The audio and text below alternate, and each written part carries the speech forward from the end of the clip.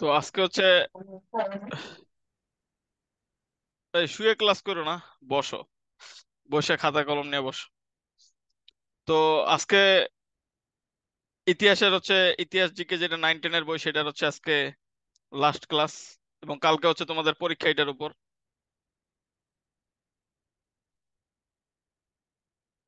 তো সেটাতে তোমরা যাতে ভালো করো। আর পরীক্ষা পরীক্ষা শুরু হবে হচ্ছে সাড়ে সাতটার সময়। তোমরা প্রথমে হচ্ছে তোমাদের নাম লিখে নিও। নাম না লিখলে কিন্তু রেজাল্ট আসবে না। দেন পরীক্ষা দিবা, দিয়ে হচ্ছে আমাকে জমা দিবা আর কি। ওয়ানের এ টু এর ডি যেভাবে আসে ওইভাবে অ্যান্সার করবা। এবিসিডি দিয়ে অ্যান্সার করো আর যেভাবে পার্ট পার্ট করা থাকবে, ওই পার্ট পার্ট অনুযায়ী লেখো যে পার্ট ওয়ান পার্ট টু যেটা লেখা থাকবে ওইভাবে। আমি ইনস্ট্রাকশন আবার দিব তোমাদের। ঠিক আছে? কোনো ইনস্ট্রাকশন জানতে হলে আমাকে আগে বলল। পরীক্ষাটা মাস্ট সবাই অ্যাটেন্ড করবা। এইটাই ওকে কি রিকোয়েস্ট তোমার বলো? ভাইয়া ওই যে শব্দের শ্রেণি বিভাগ আছে না বাংলাতে ওর ওইটা একটু বুঝাই দিয়ে তো ওই যে ফার্সি শব্দ আরবি শব্দ এগুলা। হ্যাঁ এগুলো তো তোমাদের ট্রিক্স দিয়ে দিব আমি। ট্রিক্স অনুযায়ী ক্লাসে করাবো। ঠিক আছে বা- তারপর রুড়ো শব্দ এগুলা। হ্যাঁ হ্যাঁ এইগুলো সুন্দরভাবে শিখিয়ে দিব আর কি। আমি যেগুলো জাস্ট খাতায় লিখে দিব আর হচ্ছে যে যেটা তোমাদের বলব ওর বাইরে আসবে না। এই জন্য তোমরা নিশ্চিত থাকতে পারো আর কি যোগরুরো রুরি তোমাদের বেসিক ভাবেও শিখিয়ে দিব আর কি মানে কোনটা আসলে কি?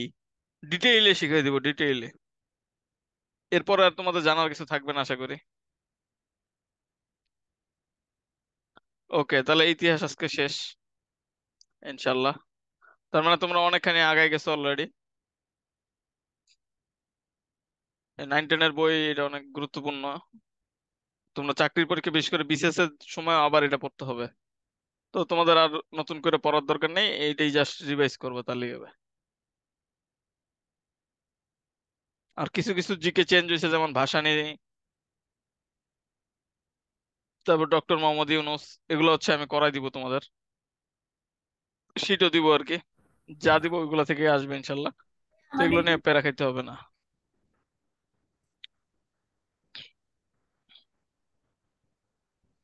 মানে সব দায়িত্ব আমার। আমি জাস্ট যেভাবে বলব, ওইভাবে কাজগুলো যদি তোমরা ঠিক মতো করো, তাহলেই হবে।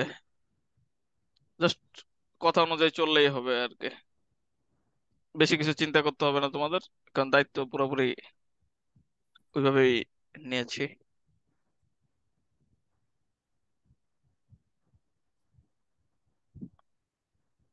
ওকে আজকে হচ্ছে তোমাদের লাস্ট লাস্ট একটু দেখাই দিই ইতিহাস নাইন টেন কালকে পরীক্ষা every one should attend must ভাষা আন্দোলন এবং হচ্ছে মুক্তিযুদ্ধ, এখান থেকেই প্রায় পাঁচ নাম্বার চলে আসবে, ঠিক আছে? যেই জিকেতেই দাও, ঠিক আছে? পাঁচ নাম্বার শুধুমাত্র এই ভাষা আন্দোলন এবং হচ্ছে মুক্তিযুদ্ধ থেকেই অ্যাটলিস্ট পাঁচ নাম্বার, বেশি দশ নাম্বারও আসতে পারে। তো ভাষা আন্দোলন আর মুক্তিযুদ্ধ এটাই সবচেয়ে বেশি ইম্পর্ট্যান্ট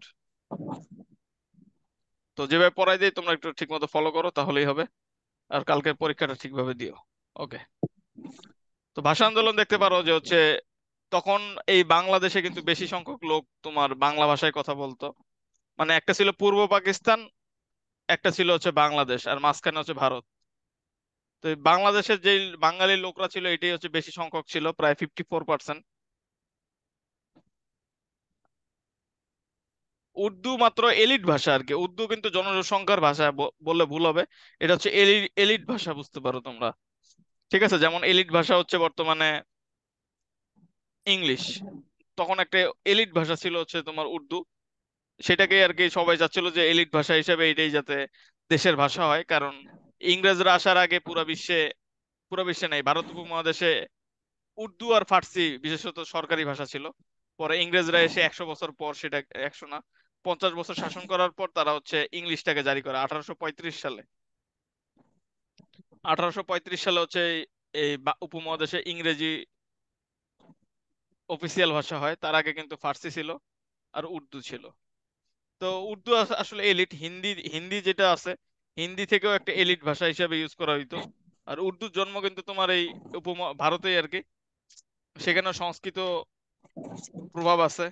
এবং আরবি, ফার্সি সবকিছুরই প্রভাব আছে এই উর্দুতে। এবং কোন কোন ক্ষেত্রে হিন্দি থেকে উর্দুকে আর কি এলিট ভাষা হিসেবে গ্রাহ্য করা হইতো। অনেক হিন্দুরাও আর কি এটা গ্রহণ করেছিল ওই টাইমে কিন্তু পরবর্তীতে আস্তে আস্তে যখন ভাগ বাটোয়ারা হইল, তখন আর কি উর্দুকে বলা হইল যে মুসলিমদের ভাষা আর হিন্দি হচ্ছে হিন্দুদের ভাষা। কিন্তু আসলে বিষয়টা এমন ছিল না, দুইটা কিন্তু একই মায়ের গর্ভের সন্তান ছিল। তো ওগুলা জাস্ট রাজনীতির খেলা তাছাড়া আর কিছুই না। তো হ্যাঁ সেটাকে হচ্ছে আঠারোশো পঁয়ত্রিশ সালে কি উর্দুকে এলিট ভাষা করা হয় যে না উর্দুকে আঠারোশো পঁয়ত্রিশ সালে করবে কেন? তখন হচ্ছে ফার্সিকে বাদ দিয়ে ইংরে- ইংরেজিকে করা হয়। এলিট ভাষা বলতে অফিসিয়াল ভাষা করা হয় ইংরেজিকে। মানে কোর্ট টোট যা আছে সবকিছু ইংরেজিতে চলবে। এখনও তোমার ভারতে দেখবা যে কোর্ট যেটা আছে কোর্ট কিন্তু হিন্দিতে চলে না। কোর্ট চলে হচ্ছে ইংরেজি ভাষায় বুঝছ? কিন্তু বাংলাদেশে আবার কোর্ট বাংলাতে চলে, সমস্যা নেই। ইংলিশে চললেও সমস্যা নেই বাংলাদেশে। বাংলাদেশে দুটোই চলবে, কিন্তু ইন্ডিয়াতে শুধুমাত্র ইংলিশ চলে আর কি কোর্টে কোর্ট বলতে বিশেষ করে সুপ্রিম কোর্টে। এছাড়াও আরও বিভিন্ন অফিসিয়াল তোমার ইংরেজি ইংলিশই ইউজ করা হয়। বাংলাদেশের সংবিধানও যেটা বর্তমানে আছে, সেটাও কিন্তু ইংলিশে আছে। ইংলিশে লেখা থাকে আর নিচে বাংলায় অনুবাদ। এইভাবে আর কি থাকে। তো এটা তোমার রাষ্ট্রভাষা করার চিন্তা ভাবনা করা হয়। এই প্রথম কুমিল্লার ধীরেন্দ্রনাথ দত্ত, তিনি হচ্ছে এটার বাধা দেন এবং তিনি হচ্ছে যেই মানে সংসদ, তখনকার বাংলাদেশের সংসদ মনে করো, সেই সংসদ সদস্য ছিলেন একজন ব্যক্তি। তো ধীরেন্দ্রনাথ দত্ত, তিনি প্রথম গণপরিষদে ইংরেজির পাশাপাশি উর্দুতে হলে পূর্ব বাংলায় তোমার হচ্ছে বাংলাও যাতে বাংলাও যাতে তোমার হচ্ছে রাষ্ট্রভাষা হয়, সেটার জন্য প্রথম দাবি তুলেন কুমিল্লার ধীরেন্দ্রনাথ দত্ত। অনেক ইম্পর্টেন্ট একটা বিষয়। এটা তোমাদের জানতে হবে। এবং দোসরা মার্চ তোমার গঠিত হয় কি? রাষ্ট্রভাষা সংগ্রাম পরিষদ। এই জিনিসটা ইম্পর্টেন্ট ওকে আর আগেকার যুগে তোমার মাতৃভাষা দিবস ছিল এগারোই মার্চ। একুশে ফেব্রুয়ারির আগে। পরবর্তীতে একুশে ফেব্রুয়ারিতে যখন এত লোক শহীদ হইল, পরে এগারোই মার্চ থেকে মাতৃভাষা দিবস তোমার একুশে মার্চ, একুশে ফেব্রুয়ারিতে নিয়ে আসা হয়। আমি একটু অনেক টাইনা টাইনা যাব, তোমরা অবশ্য আমি আশা করব যে তোমরা অলরেডি পড়ছো রিডিং আমি জাস্ট তোমাদের একটু বুঝাই দিব আর কি।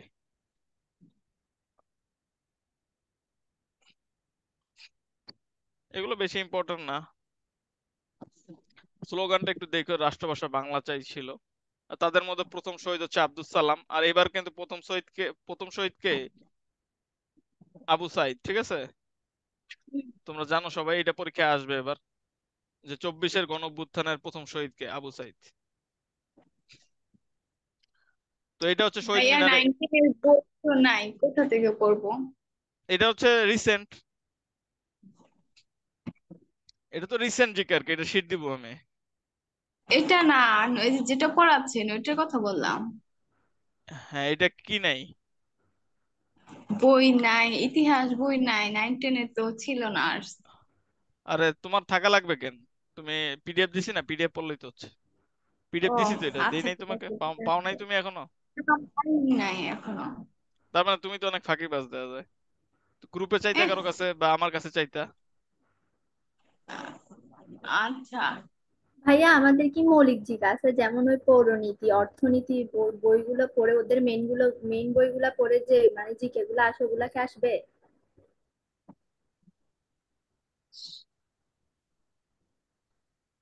না, ওগুলো তো বেশি ইম্পর্টেন্ট না। যেগুলো ইম্পর্টেন্ট ওগুলো আমি বলে দিব।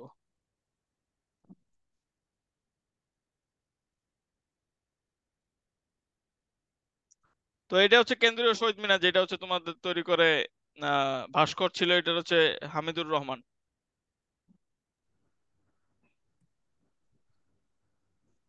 এবং এই আন্দোলন তোমরা জানো যে উনিশশো বাহান্ন সালে যেটা করা হয়, সেটা প্রেক্ষিতে পরবর্তীতে সংবিধানে যে পাকিস্তানের সংবিধান ছিল, সেটাতে উনিশশো ছাপ্পান্ন সালে হচ্ছে বাংলাকে রাষ্ট্রভাষার মর্যাদা দেওয়া হয়। যেগুলো আমি ক্লাসে বলতেছি, ওগুলো বেশি ইম্পর্টেন্ট আর কি। মানে দাগানোর থেকে ওগুলো আরও বেশি ইম্পর্টেন্ট তারপর এই তারিখটা ইম্পর্টেন্ট যে উনিশ, উনিশশো সরি উনিশশো নিরানব্বই সালের সতেরোই নভেম্বর। ইউনেস্কো থেকে আসবে আর কি পরীক্ষায় যে ইউনেস্কো স্বীকৃত কি কি আছে। তোমাদের আমি একটা শিটও দিব। ঠিক আছে? শিটটা চাইলে আমি ক্লাস শেষে তোমরা একটু নক দিও আমাকে। আমি তোমাদের ইউনেস্কো যেগুলো বাংলাদেশে স্বীকৃতি দিছে সেগুলো হচ্ছে তোমাদের দিয়ে দিব। তো উনিশশো নিরানব্বই সালে সতেরোই নভেম্বর, এটা তোমার স্বীকৃতি দেওয়া হয় বাংলা ভাষাকে এটা আন্তর্জাতিক মাতৃভাষা দিবস হিসাবে। এবং পরবর্তী বছরেই প্রায় একশো অষ্টআশিটা দেশ এটা পালন করে। তাহলে বুঝতেই পারতেছো এটা কত বেশি ইম্পর্টেন্ট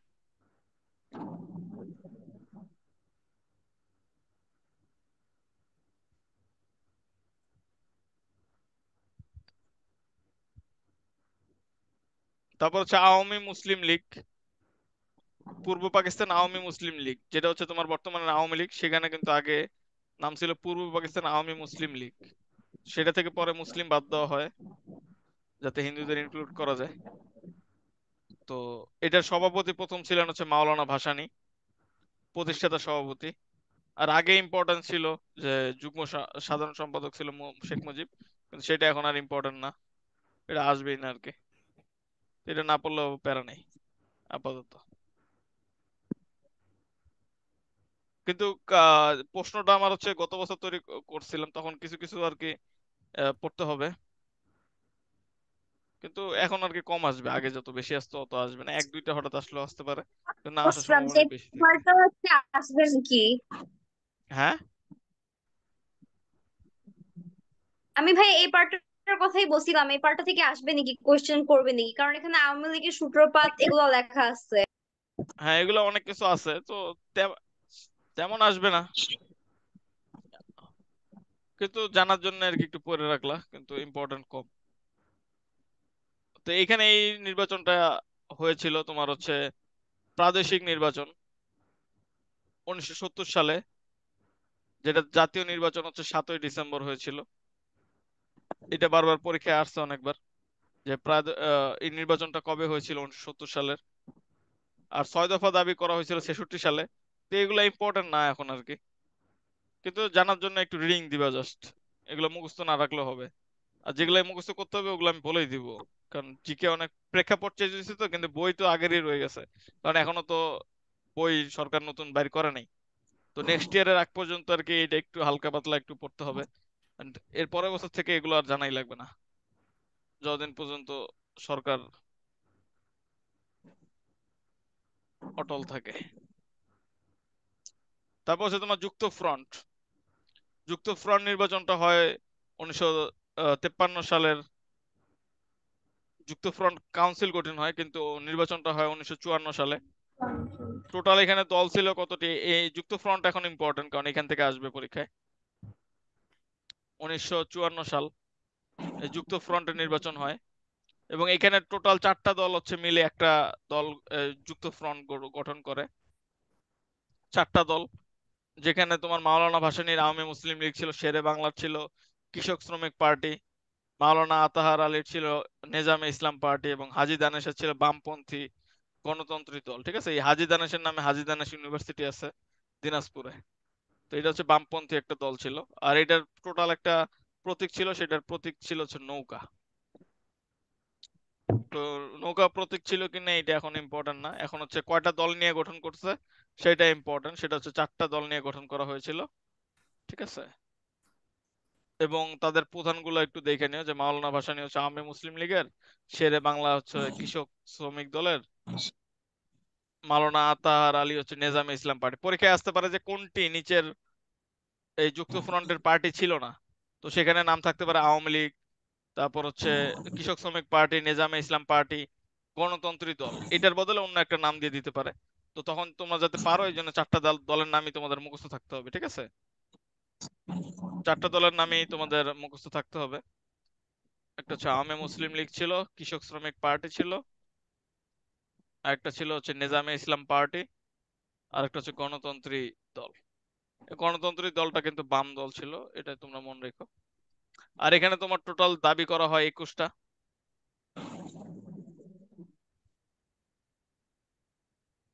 আর এটার মুখ্য রচয়িতা ছিলেন হচ্ছে আবুল মনসুর আহমদ। আবুল মনসুর আহমদ এবং প্রথম দাবি ছিল একুশ দফার বাংলাকে পাকিস্তানের রাষ্ট্রভাষা হিসেবে প্রতিষ্ঠা করতে হবে। এটা হচ্ছে এটার প্রথম দাবি। এছাড়াও আর অনেকগুলো দাবি আছে। তোমরা জাস্ট একবার একটু দেখো যে কি কি দাবি আছে, যাতে পরীক্ষা আসলে পারো। এখানে দেখো যে পাট শিল্পকে জাতীয়করণ, এটাও কিন্তু একটা দাবি ছিল। তারপর বিনা ক্ষতিপূরণে জমিদারি প্রথা বিলুপ্ত, ভূমিহীন কৃষকদের উদ্বৃত্ত জমি বিতরণ করা। এটাও কিন্তু একটা দাবি ছিল। ওই যুগে কিন্তু সবাই জমিদার তখন হালকা পাতলা ছিল, যাতে জমিদারের প্রথা একবারেই উঠে যায়, সেই কারণে আর কি এটা করা হয়েছিল।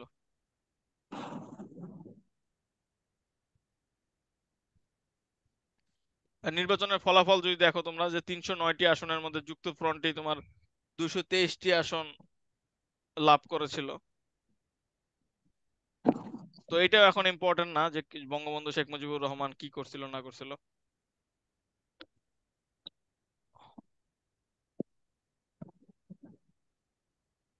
বর্ধমান হাউসকে তোমার বাংলা ভাষার গবেষণায় স্থান করা হয়।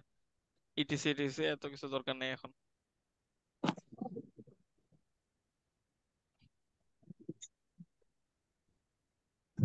ভাইয়া বঙ্গবন্ধু আর শেখ হাসিনা রিলেটেড টপিক কি বাদ দিয়ে যাব? হ্যাঁ এমনি একবার রিডিং দিয়ে রাখতে পারো আর কি হালকা। পরীক্ষাতে মেইন পরীক্ষার ক্ষেত্রে আমার পরীক্ষাতে আমি সবই ইনক্লুড রাখব। কিন্তু মেইন পরীক্ষাতে আসবে না আর কি। এই কারণে ব্রেনকে প্রেশার না দিলেও পারো। প্যারা নেই। তো উনিশশো ছাপ্পান্ন সালের সংবিধান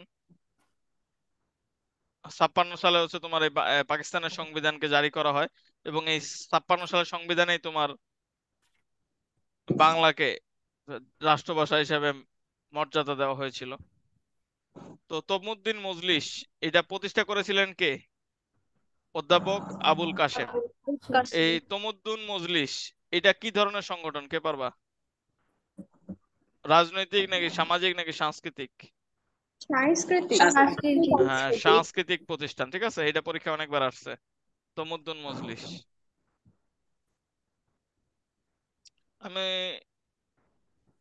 তোমাদের এক টান দিয়ে সব পড়ে ফেলতেছি। তোমরা একটু দেখো। তো প্রথম সামরিক শাসন যিনি চালু করেছিলেন তার নাম ছিল ইস্কান্দার মির্জা। ঠিক আছে? প্রথম সামরিক শাসন তিনি জারি করছিলেন। এই পাকিস্তানে। ইস্কান্দার মির্জা। ইস্কান্দার মানে কিন্তু সিকান্দার।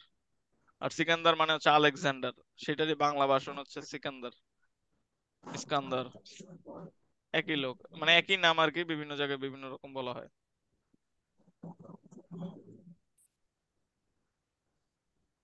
এই বাষট্টিতে তোমার কি আন্দোলন হয় বলো তো? বাষট্টিতে? সেটা হচ্ছে শিক্ষা আন্দোলন। আন্দোলন। আর উনসত্তরে হয় কিন্তু আরেকটা গণ অভ্যুত্থান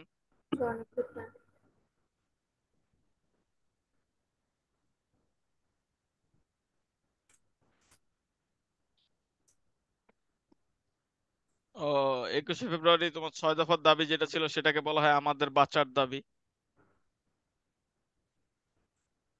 এটুকুই জানলা আর কি, বাকি সব এত কিছু আগে ছয়টা মুখস্থ করতে হইতো, এখন তো এগুলা লাগবে না আসলে।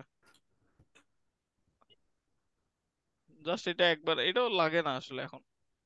আগে ছিল ইম্পর্টেন্ট ইম্পর্টেন্ট চেঞ্জ হয়ে যায়। মানে মেইন পরীক্ষার জন্য আমি বলতেছি, আমার পরীক্ষার জন্য হালকা পাতলা এগুলো ইম্পর্টেন্ট আছে। তো মেইন পরীক্ষার জন্য এগুলো এখন ইম্পর্টেন্ট না।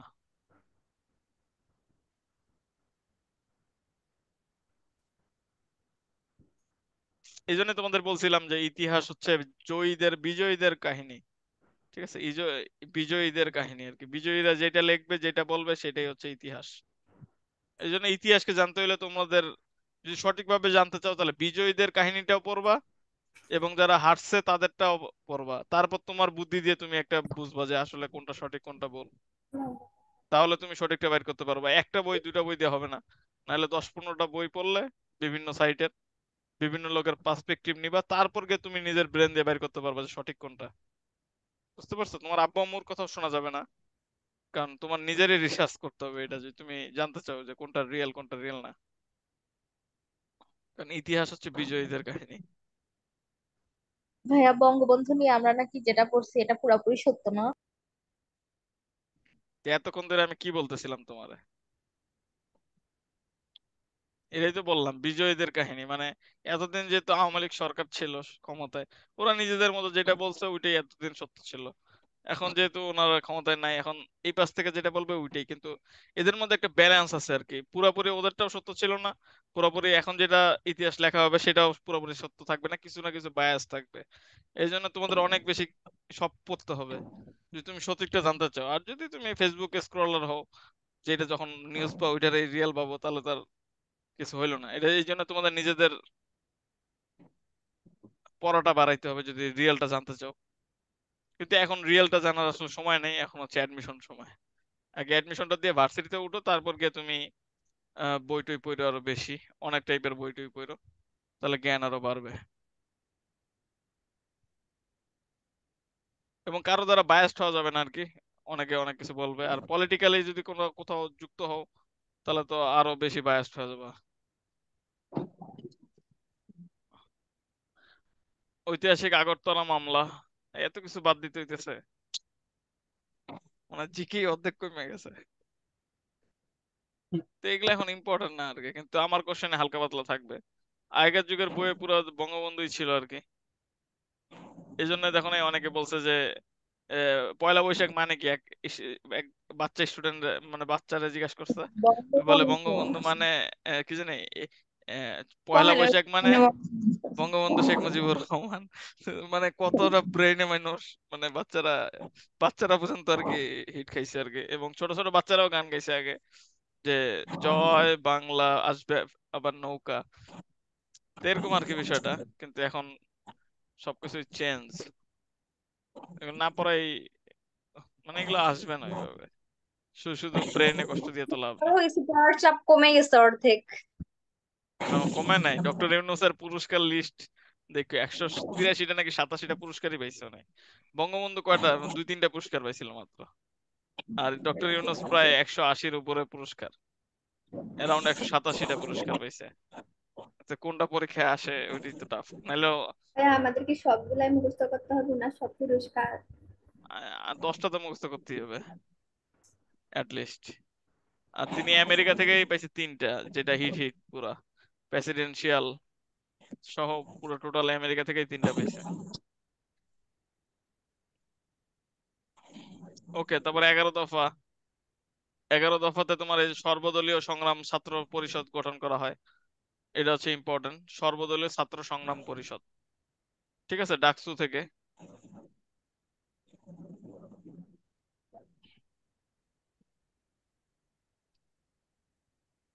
এবার হচ্ছে গণ অভ্যুত্থানে গণ অভ্যুত্থান এবার ইম্পর্টেন্ট যেটা আগে ইম্পর্টেন্ট ছিল না, দেখো দাগাই নেই। কিন্তু এবার একটু গণ অভ্যুত্থানটা ইম্পর্টেন্ট আর দুই হাজার তোমাদের দুই হাজার চব্বিশে যে গণ অভ্যুত্থান এখান থেকেও প্রায় দুই, তিনটা কোশ্চেন আসবে। ঠিক আছে? সেটা আমি তোমাদের রিসেন্ট যখন পড়াবো, তখন পড়াই দিব। ঠিক আছে? তো আমাকে ফলো করলেই তোমাদের সব হয়ে যাবে no problem just ask to me তো এই গণ অভ্যুত্থানটা হয় কার বিরুদ্ধে বলো তো প্রেসিডেন্ট আইয়ুব খানের বিরুদ্ধে। স্বৈরশাসনের বিরুদ্ধে এই তোমার উনসত্তর গণ অভ্যুত্থানটা হয় এবং দুই হাজার চব্বিশটা হয় ফেসিস্ট হাসিনার বিরুদ্ধে। তো এখানে তোমাদের কি ছিল? জাতিগত নিপীড়ন, বঞ্চনা, আর এখানে ছিল কি? দলীয় নিপীড়ন। শুধুমাত্র আওয়ামী লীগরাই সবকিছু পাইছে, বাকিরা পায় নাই। ওইটা ছিল জাতিগত মানে বাঙালি জাতিদের প্যারা দিত। যারা উর্দুভাষী তারা। উর্দুভাষী বিশেষ করে পাকিস্তানে যারা ছিল। মানে তারা ছোট ভাবতো আর কি, যে বাঙালি মানে গরিব। এদিক দিয়ে তোমার কলকাতার বাঙালিরাও প্যারা দিত, যে এরা হলো বাঙ্গাল আর ওই দিক দিয়ে পাকিস্তানিরা, ওরা তো আরও সাদা ছিল আর আমরা কালা। তো এটা নিয়ে আরও বেশি প্যারা। মানে সেই প্যারা দিত। নিপীড়ন, বঞ্চনা, বৈষম্য সবকিছুই করছে। জাতীয়তাবাদী। তো এই কারণে এই আন্দোলনটা হয়। অনেক বড় আন্দোলন ছিল।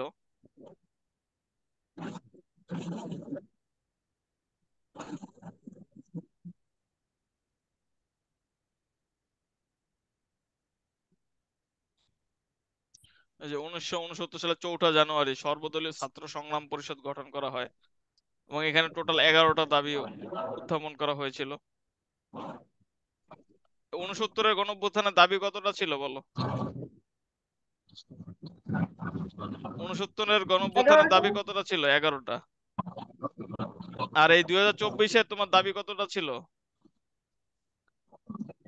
এক দাবি।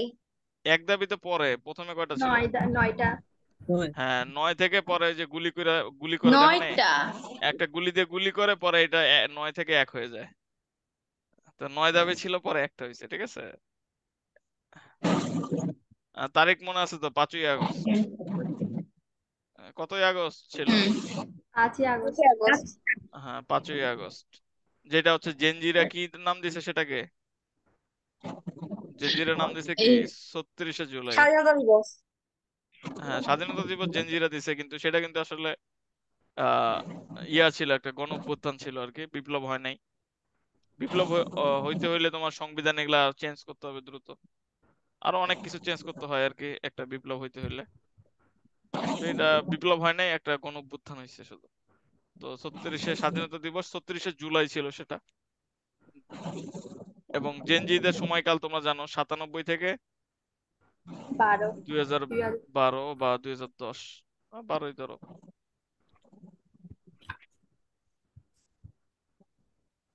তারপর বিশ্ব বিশে জানুয়ারি তোমার এই প্রথম ছাত্র নেতা যে মারা গেছিল উনসত্তরে বেশি লোক মারা যায় না টোটালি নাকি ছয় জন। আর প্রথম প্রথমত না না উনসত্তরে একটু বেশি মারা গেছিল নব্বই কম মারা গেছিল পাঁচ ছয় জনের মতো। তো বিশে জানুয়ারি তোমার মারা যায় তোমার এই যে শহীদ ছাত্রনেতা আসাদ। এই জন্য তোমরা আসাদ গেট গেছো ঢাকায় কখনো? আসাদ গেট হ্যাঁ আমার কলেজ হ্যাঁ ছিল সেন্ট জোসেফ। তো সেন্ট জোসেফের পাশেই ছিল এই আসাদ গেট এই ইয়া সংসদের পাশেই। ঠিক আছে? এই জন্য তার নামে একটা গেটও আছে সংবিধান সংসদের পাশে আসাদ গেট সেটাকে বলা হয়। তো বুঝতেই পারতেছো অনেক ইম্পর্টেন্ট তিনি মারা যায় কবে তাহলে? কত জানুয়ারি? জানুয়ারি। ঠিক আছে? এটা অনেক বেশি ইম্পর্টেন্ট এছাড়াও তোমার যে নবম শ্রেণির একজন ছাত্র মারা গেছিল তার নাম ছিল মতিউর রহমান। আর এবার তো কতগুলা শিশু মারা গেছে কত কে মারা গেল হিসাবই নেই। হ্যাঁ। তো রিসেন্ট অনেক বেশি ভালো করে পড়তে হবে এবার ঠিক আছে? তো আমি তোমাদের ক্লাসে করাই দিব শিটও দিব আর কি। আর তোমরা হচ্ছে আরও বেশি আগের থেকে আরও ভালো পড়তে চাইলে তোমরা জুবায়ার্স ক্যাপসুলগুলো একটু রাখো সাথে। ঠিক আছে? আমি তো শিট দিবই এছাড়াও জুবায়ার্স ক্যাপসুলগুলো তোমরা রাখো আচ্ছা। এবার রিসেন্ট থেকে অনেক বেশি আসবে। রিসেন্ট থেকে প্রায় আট দশটা আসবে। আর ঢাকা ইউনিভার্সিটি রিসেন্ট থেকে আগে থেকে বেশি আসে। এবার মনে হয় ঢাকা ইউনিভার্সিটি পনেরোটা আসবে রিসেন্ট থেকে। আর জাহাঙ্গীরনগরের প্রত্যেকটা দুবাই ইউনিটে আট দশটা প্রত্যেক মাসে মাসে বের হয়। হ্যাঁ মোটামুটি ওরকমই। প্রত্যেক মাসে মাসে বেশ আহ, বের হয়। তিরিশ টাকা ত্রিশ টাকা করে দাম হয়তো তিরিশ কি চল্লিশ। এর মধ্যেই পাবো আর কি। এটা হচ্ছে তোমাদের ভাইয়া ওটা সংগ্রহ রাখো পরীক্ষার দুই সপ্তাহ আগে কিনলে হবে না ক্যাপসুলগুলা না এখন থেকেই আর কি তোমাদের নলেজে রাখো। এত পরে কিনা তো কখন পড়বা আর কখন তোমার কি মনে থাকবে? আগে থেকে পড়লে রিভাইজ করলে তোমাদের অনেক কিছু মনে থাকবে আর কি। ভাইয়া ওখানে আর কি সাম্প্রতিক সব জিনিসপত্র? হ্যাঁ হ্যাঁ। কারণ সাম্প্রতিক জিনিসগুলোই বেশি আসবে আর কি এবার। আমিও দরকার পড়লে আমি তোমাদের শীট কিছুদিনের মধ্যেই দিয়ে দিচ্ছি রিসেন্ট ঠিক আছে? দেখি হ্যাঁ আমি শীট আপনি বানাই ফেলব। আমি শীট বানাই ফেলব, দেখি। তারপরে যে সার্জেন্ট জহুরুল হককে মারা হয় তোমার পনেরোই ফেব্রুয়ারিকে, এই কারণে ঢাবিতে একটা হলও আছে, সার্জেন্ট জহুরুল হক হল ঠিক আছে, যেই হলে আমার ফ্রেন্ডরা থাকে অনেকগুলা, জহু হল ওরা এত বড় নাম বলে না, সার্জেন্ট জহুরুল হক হল এত নাম নাম বললে ওরা শুধু জহু হল বলে। জহু হল বুঝতে পারছ? অনেক ইজিলি বলে আর কি। এটা ইম্পর্টেন্ট যে, তারপরে যে টিচার যে মারা গেছিল, এটা ইম্পর্টেন্ট শামসুজ্জোহা আঠারোই ফেব্রুয়ারি। এর মতোই কিন্তু পুরা আবু সাইদও এনাকেই কপি করছিল। আবু সাইদ নিজেও বলছে যে হচ্ছে, কি জানি ডক্টর শামসুজ্জোহা স্যার, আপনাকে আমার অনেক বেশি, এখন আমাদের অনেক বেশি দরকার ছিল। ওর ফেসবুক স্ট্যাটাসে দিয়েছিল। এবং দিয়ে তার পরের দিনই সে হচ্ছে বুক পাইতে একদম শামসুজ্জোহা স্টাইলেই দাঁড়াইছিল। ঠিক আছে? এই ডক্টর শামসুজ্জোহা ইনিও হচ্ছে ওই টাইমে এইভাবে বুক পাইতে দাঁড়াইছিল স্টুডেন্টদের বাঁচানোর জন্য। যে আমার ওদের কাছে যাইতে হলে আমাকে মেরে যাইতে হবে, পরে ওকে গুলি করে মারা হয়েছিল এই কারণে কিন্তু এই গণ অভ্যুত্থান হয়েছে ঠিক আছে? আর এবার হচ্ছে আবু সাইদ ওই সেম কাজটাই করছে।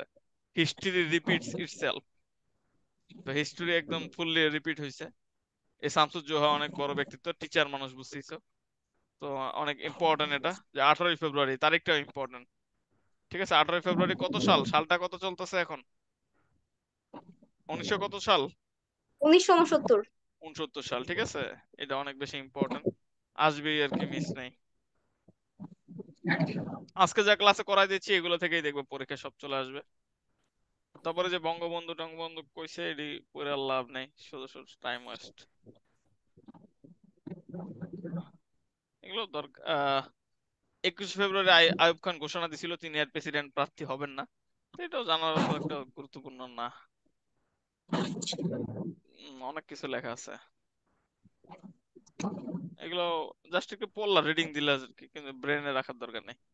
তো প্রথম ইসলামী প্রজাতন্ত্রের প্রথম প্রেসিডেন্ট কে ছিলেন? ইস্কান্দার মির্জা। ইস্কান্দার মির্জা এবং তিনি প্রথম সামরিক শাসক। প্রথম সামরিক শাসক কে ছিলেন? ইস্কান্দার মির্জা ঠিক আছে? এবং ইসলামিক প্রজাতন্ত্র তিনি তৈরি করছিলেন। এনাদের এনাদের কি ছিল? ইসলামিক প্রজাতন্ত্র ঠিক আছে? আর মাওলানা ভাসানী চাচ্ছিলেন কি? ইসলামিক সমাজতন্ত্র। মাওলানা ভাসানী কি চাইছিলেন? ইসলামিক সমাজতন্ত্র কি? ইসলামিক সমাজতন্ত্র। হ্যাঁ সমাজতন্ত্র রাইট।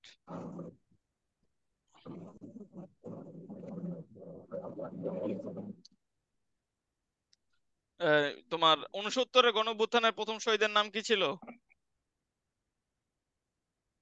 আসাদুজ্জামান। হ্যাঁ, আসাদুজ্জামান। যার নামে কি গেট তৈরি করা হয়? Asad gate. Asad gate. Correct Asad gate. হ্যাঁ।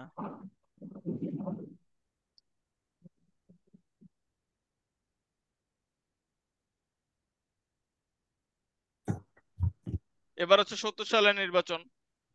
ঠিক আছে? এই সত্তর সালের নির্বাচন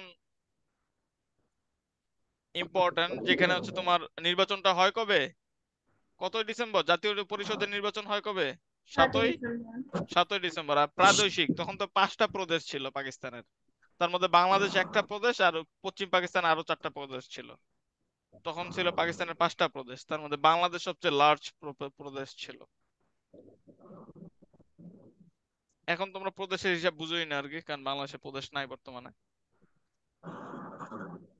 তো তখন টোটাল ভোটে পূর্ব পাকিস্তান থেকে একশো বাষট্টিটা সিট পাইছিল। একশো উনসত্তরটা সিটের মধ্যে মানে একশো সাতষট্টিটার মধ্যে আর কি যে একশো বাষট্টিটার মধ্যে সাতষট্টিটা পেয়েছিল, কিন্তু এগুলা ইম্পর্টেন্ট না আর কি এগুলা আসবে না এখন। ঠিক আছে? জাস্ট একবার একটু চোখে দেখলা জাস্ট রিডিং পড়লা কিন্তু আসবে না পরীক্ষায়। ভাইয়া ভাসানী ইসলামিক সমাজতন্ত্র চেয়েছিল এটার আগে আরেকটা কি বলছিলেন? ইস্কান্দার মির্জা হচ্ছে তৈরি করছিলেন প্রথম ইস্কান্দার মির্জা ছিল প্রথম ইসলামে পাকিস্তানের প্রথম পাকিস্তান ইসলাম ইসলাম প্রজাতন্ত্রের প্রথম প্রেসিডেন্ট। এবং তিনি আবার সামরিক শাসন প্রথম সামরিক শাসকও ছিলেন। ঠিক আছে? এই যে এখানে কোশ্চেনটা আছে যে পাকিস্তান ইসলামী প্রজাতন্ত্রের। প্রথম প্রেসিডেন্ট ছিলেন হচ্ছে ইস্কান্দার মির্জা, আবার তিনি প্রথম সামরিক প্রেসিডেন্টও তিনি ছিলেন। সামরিক শাসন তিনি প্রথম চালু করছিলেন, ইস্কান্দার মির্জা। সামরিক শাসন চালু করার পর কিছুদিন পর ভাবছে যে আমি আর সামরিক শাসন না থাকি আমি হচ্ছে প্রেসিডেন্ট হয়ে যাই। পরে নিজের গেট আপ চেঞ্জ করছেন আর কি। গেট আপ চেঞ্জ করে প্রেসিডেন্ট হয়ে গেছেন। এবারও তো চাইলে আর্মিরা চাইলে ক্ষমতা নিতে পারতো, কিন্তু নেয় নেই আর কি। লোকটা ভালো মানুষ, বললেই লাগে, ওয়াকরুজ্জামান। নিজের আত্মীয় হওয়ার পরও দেশের মানুষের পক্ষ নিছেন আর কি। ভালো মানুষ বলতেই হয় আর যদি ওইটা না করতেন, তাহলে শেখ হাসিনাকে টিকাইতে হইলে প্রায় দশ, বিশ হাজার আরও খুন করতে হইতো আর কি। দশ হাজার, বিশ হাজার লোক যদি আরও খুন করতো, তাহলে মনে করো সরকার হয়তো বা টিকতো। তারপরে এত পাওয়ার নিয়ে আর কি পুরো দেশে টিকতো না। অনেকেই তখন আরও বিদ্রোহ টিদ্রোহ হইতো। সময় লাগতো আর কি তাহলে। দুই তিন বছর লাগতো। সেটাই আমি ভাবছিলাম আর কি যে দুই তিন বছর হয়তো বা লাগবে। কিন্তু যে ওয়াকরুজ্জামান যে হঠাৎ করে এত ভালো মানুষ, হঠাৎ করে বাইরে হবে একজন, এটা ভাবিনি। মানে আত্মীয় স্বজন আবার তাও। শেখ হাসিনাই বসাইছিল ওই পদে ওনাকে। কিন্তু উনি দেশের জন্য কাজ করছেন। ওনার উপায়ও ছিল না। কারণ ওনার যারা নিচে, যারা র্যাঙ্কে ছিল, অনেক মেজর অনেক কর্নেল চাচ্ছিল যাতে এই হামলাগুলো না করে। কারণ তোমরা পুলিশ কিন্তু অত নামাজ পড়ে না, কিন্তু দেখবা যে আর্মিরা কিন্তু নামাজ টামাজ পড়ে। মানে ভালো মানুষ আর কি। আর পুলিশরা তো একশোটা কথা বললে, আমি তো বলছি আগেই ক্লাসে যে একশোটা কথা বললে একশোটাই মিথ্যা বলে আর কি। মানে আগেকার পুলিশ, এখন তো আবার ড্রেস ট্রেস সবই চেঞ্জ হবে, এখন দেখা যাক কেমন পুলিশ হয় এবার এবারকার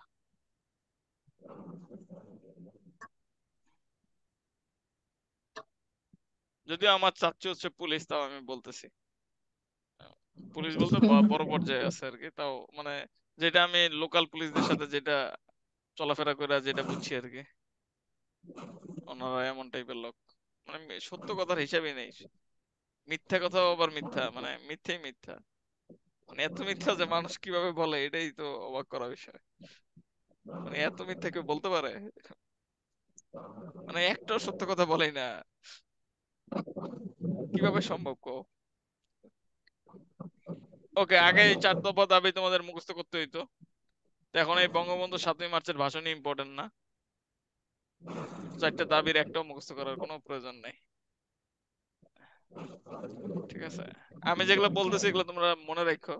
ইতিহাস হচ্ছে বিজয়ীদের কাহিনী। তোমরা তোমাদের ভাই বোন ছোট সবাইকে বলল আর কি যে ইতিহাস আসলে কি থাকে। অনেকে বুঝে না আর কি, যেটা পড়ে সেটাই বিশ্বাস করে।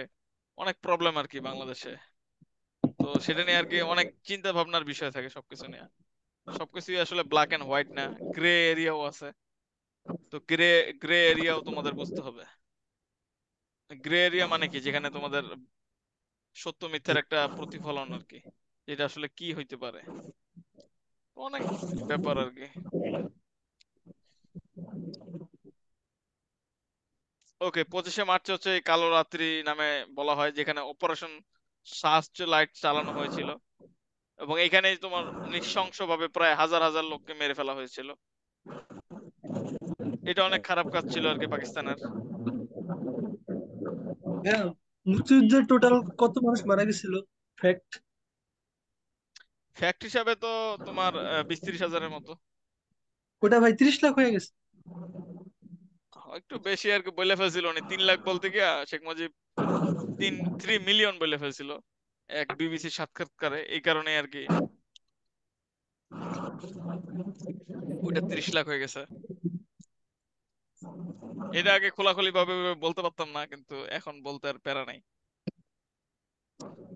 মানে যেটা ফ্যাক্ট পাকিস্তান পাকিস্তানিদের যদি হিসাবে দেখো ওরা- যেটা প্রচার করে সেটা সতেরো আঠারো হাজার আর কি। আর ইন্ডিয়াও প্রায় পনেরো বিশ হাজারই তোমার বলে ইন্ডিয়া পর্যন্ত। শুধুমাত্র বাঙালিদের বই পর্যন্ত এই মিথ্যাটা লেখা। তো এটা কি উচিত? তোমরাই বলো আমাকে। মানে বইয়ের মধ্যে যাও জাতীয় বই ক্লাস ফাইভ মানে বাচ্চারা পড়বে এটা। একটা মিথ্যা জিনিস শিখতেছে এটা কেমন বিষয়? মানে ভাবা যায় এটা। মানে বই থেকেই তোমাকে ছোটবেলা থেকে মৃত্যুক বানাইতেছে। বড় হইলে আর কি সত্য কথা বলবা?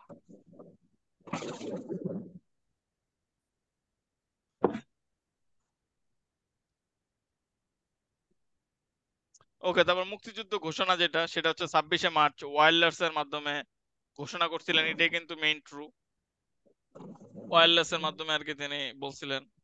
আর এটাই পরে জিয়াউর রহমান আর কি রিপিট করছিল। কারণ জিয়াউর রহমান তো আর কি জাতি মানে স্বাধীনতার ঘোষণা, ঘোষক হওয়ার সম্ভাবনা নাই। যদিও এটা অনেকে মনে করে, কিন্তু আসলে কিন্তু শেখ মুজিবের মেইন ম্যান্ডেট প্রাপ্ত ছিলেন, কারণ তাকে জনগণ ফলো করত।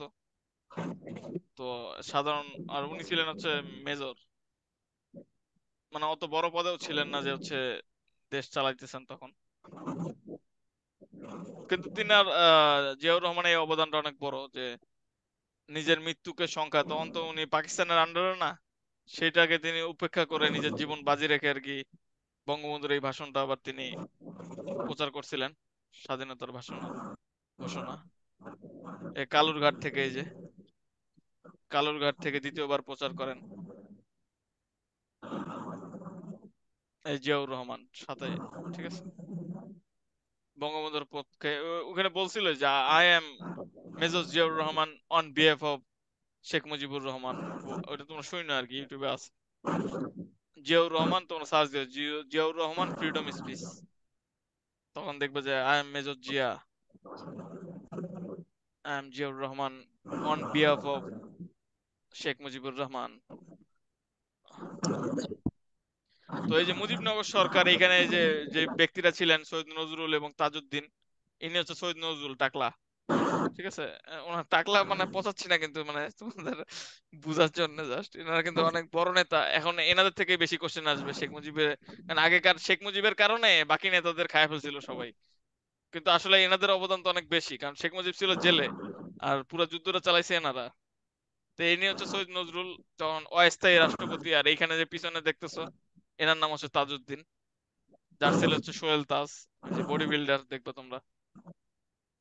তো দশই এপ্রিল এই সরকার হচ্ছে তোমার গঠিত হয়। তো তোমরা বলো মুজিবনগর সরকার গঠিত হয় কবে? আর শপথ গ্রহণ করে কবে এটা? হ্যাঁ শপথ গ্রহণ করে কিন্তু তোমার এই যে সতেরোই এপ্রিল। এটাই তোমাদের খেয়াল রাখতে হবে মেহেরপুর জেলার বৈদ্যনাথ তলায় এই ঘটনাটা ঘটে। এবং এটার প্রধান করা হয় তোমার শেখ মুজিবুর রহমানকে। কিন্তু এটা এখন ইম্পর্টেন্ট না আর কি এবং এটার সরকারটার আহ কি বলে সদর দপ্তর ছিল তোমার আট নং থিয়েটার রোড ঠিক আছে? এখনও পুরো কাহিনী বাইর হয় নাই পরে তোমাদের এখন ইয়াটাও পড়তে হবে কি বলে পিলখানা হত্যাকাণ্ড। সেটাও আসবে আর কি পরীক্ষায় কারণ এতদিন এটা বন্ধ ছিল। তারপর আয়না ঘর। স্যার ওয়ান ওয়ান ইলেভেন একটা আছে কি ওইটার সঙ্গে একটু বললে ভালো ওইটাই তো পিলখানা। ওকে, তারপর হচ্ছে তোমার শেখ মুজিবুর রহমান। তিনি হচ্ছে সর্বাধিনায়ক এবং রাষ্ট্রপতি ছিলেন এই মুজিবনগর সরকারের। আর এটা উপরাষ্ট্রপতি ছিলেন সৈয়দ নজরুল।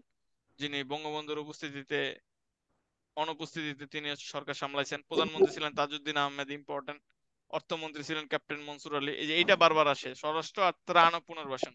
পরীক্ষা দেখবা ত্রাণ ও পুনর্বাসন, এটা কে ছিলেন? H M Kamruzzaman. পররাষ্ট্র ছিলেন হচ্ছে তোমার যে খন্দকার মোস্তাক। ঠিক আছে? পররাষ্ট্র আইন কে ছিলেন? খন্দকার মোস্তাক যাকে এতদিন আর কি অনেক বেশি পচানো হয়েছে কিন্তু এখন হয়তো বা আর পচানো হবে না ওইভাবে। ইনি কুমিল্লার মানুষ ছিলেন এই কারণেই শেখ হাসিনা হচ্ছে কু বললে কুমিল্লারে পচাইছে। এই কারণেই এবারে যেই সংগ্রাম এখানে ম্যাক্সিমামে কুমিল্লার মানুষ ছিল। এমনকি ছয় সমন্বয়কের প্রায় তিন, চার জনই কুমিল্লার। আর কুমিল্লা চট্টগ্রাম বোর্ডে সরি চট্টগ্রাম বিভাগে। আর এখন প্রায় দেশের ম্যাক্সিমাম যারা বড় পদে আছে, উপদেষ্টা থেকে শুরু করে তারা সবাই চট্টগ্রামের। তখন ক্ষমতা পুরোপুরি শিফট হয়েছে চট্টগ্রামে। আর কুমিল্লার মানুষ এখন ভালোই পাওয়ারফুল হয়ে গেছে। এই কারণে পরবর্তীতে আবার বন্যা দিল ভারত কুমিল্লাতেই। যাতে ওরা একটু প্যারা খায় আর কি সবকিছু আর কি এইভাবে হিসাব করে চলে, যেগুলো তোমাদের বুদ্ধি দিয়ে বুঝতে হবে। কারণ সবকিছু তো আর সবাই বলে দিবে না। আর আমি আমার পার্সপেক্টিভ সবসময় থাকে হচ্ছে নন বায়াস যেটা রিয়েল সেটাই আর কি সবসময় বলার ট্রাই করি আল্লাহর মতে মানে বায়াস থাকি না কোথাও। এটা হচ্ছে আমার নীতি।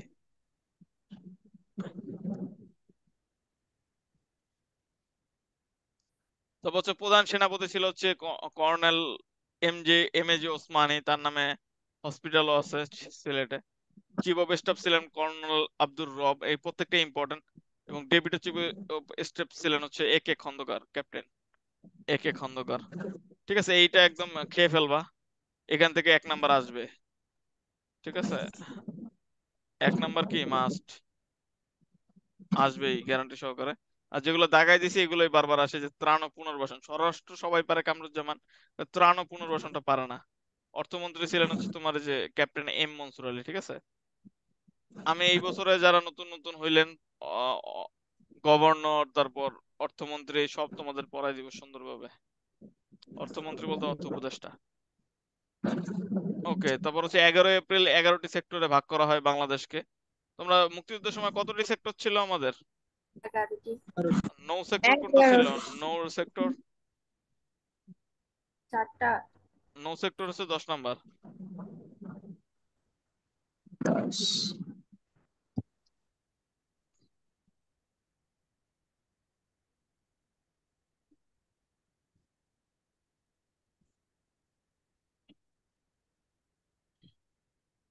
এই যে উপদেষ্টা কমিটি এখানে বৈঠক করতেছে।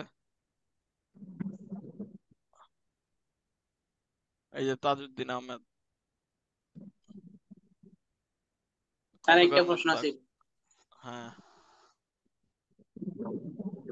শেখ মুজিবের ভাষা নেই। শেখ মুজিব শেখ শেখ মুজিবের যখন মৃত্যু হয় তখন এই মানে তাজউদ্দিন আহমেদেরা কোথায় ছিল? অন্য কেউ ক্ষমতা নিচে যে পরে সামরিক শাসন টাসন এগুলো হচ্ছে যে এরা ওরা তখন কোথায় ছিল? ওরা নিলে তো পাইতো না। ওরা কেমনে নেবে? সামরিক তোমার অভ্যুত্থান ঘটাইছে সামরিকরা। ঘটায় দিছে হচ্ছে তোমার খন্দকার মোস্তাককে ক্ষমতা। আর খন্দকার মোস্তাকও জেলাস ছিল আর কি।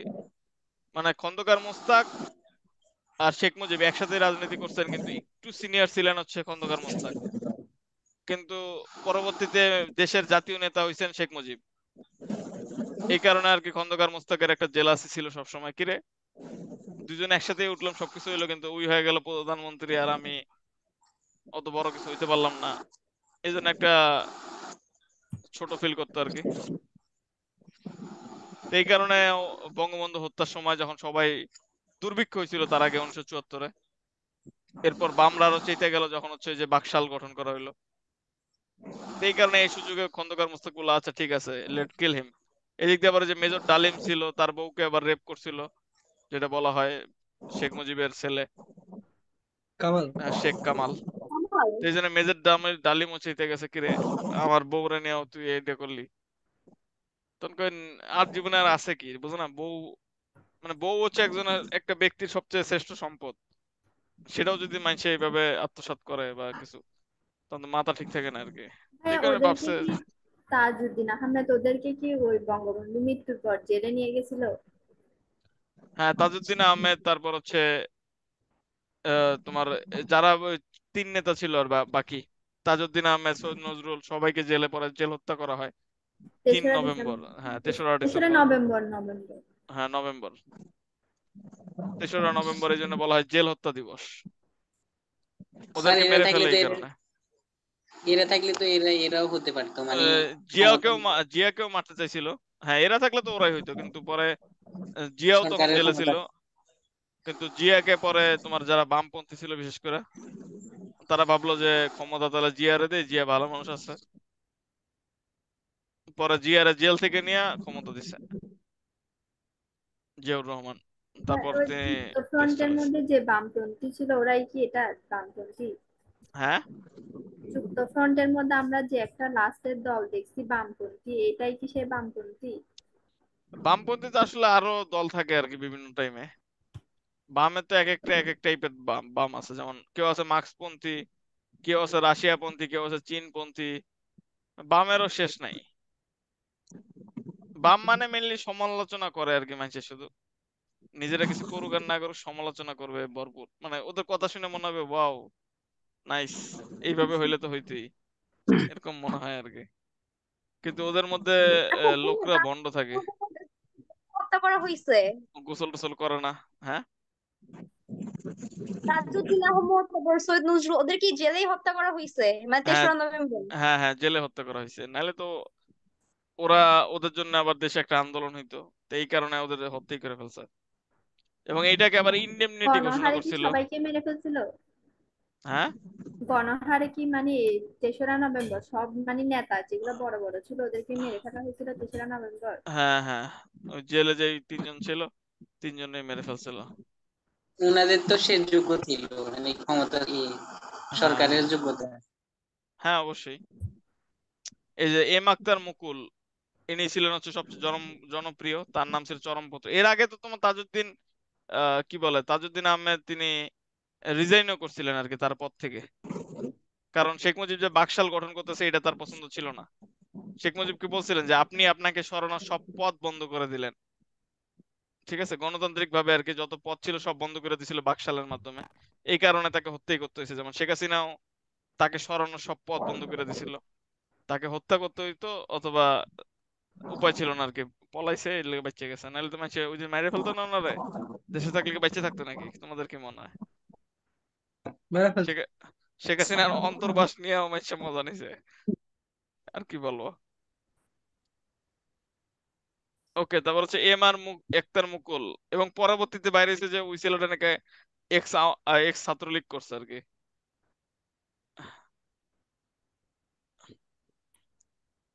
তো এম আক্তার মুকুল, তার বিখ্যাত যেটা ছিল, সেটার নাম ছিল চরমপত্র। ঠিক আছে? তারপর জল্লাদের দরবার, এটা ইম্পর্টেন্ট এই মাস্টার মুখলেরই জল্লাদের দরবার হ্যাঁ তবে বঙ্গবন্ধু শেখ মুজিবুর রহমান তিনি হচ্ছে ছাত্রলীগের প্রতিষ্ঠাতা ছিলেন। এবং পূর্ব পাকিস্তানের মুসলিম লীগের তিনিও একটা এখন তো মুজিব সম্পর্কে পড়াই লাগবে না। জানি না লাভ কি শুধু শুধু টাইম ওয়েস্ট ছাত্রলীগের হিসাবও নাই কোনো। এটা জীবনে আসবে না? হ্যাঁ জীবনে আসবে না এটা তো কেমনে কই? ফিউচারে কি হয় এটা তো আমি জানি না তাই না? ফিউচারে যদি আবার ভারত তোমার ভারত যদি চায় অনেক প্রেসার দিতে আওয়ামী লীগকে ক্ষমতায় রাখতে তখন আবার পসিবল কিন্তু তখনও অনেক মারকাট হবে আর কি সহজে এত হচ্ছে না কিছু। আর ভারতের এখন শক্তিও নেই কেন মোদির শক্তি কমে গেছে তো। এই কারণেই তো আন্দোলনটা হইল ঠিক আছে? মোদির শক্তি কম কমে গেছিল। আরও অনেক কিছু বুঝাইতে হবে তোমরা বুঝবেই না থাক। আরও আরও জ্ঞান মানে বুঝবে না তোমাদের এই ইয়া করতেছি না আর কি কিন্তু এখন সময় লাগবে আর তোমাদের এখন এত কিছু জানতে হবে না। এমনিতেই এত তোমাদের শালটাল মুখস্থ রাখতে পারতেছ না আমাকে বারবার বলো। তাহলে এত কিছু জেনে তো লাভ নেই শুধু শুধু। এইটুকু জানা যায় মোদির পাওয়ার আগে যতটা ছিল এই রিসেন্ট যে নির্বাচন হইল ওইটার পরে এত নাই। রাহুল গান্ধী এখন অনেক পাওয়ারফুল নেক্সট প্রধানমন্ত্রী হবে রাহুল গান্ধী।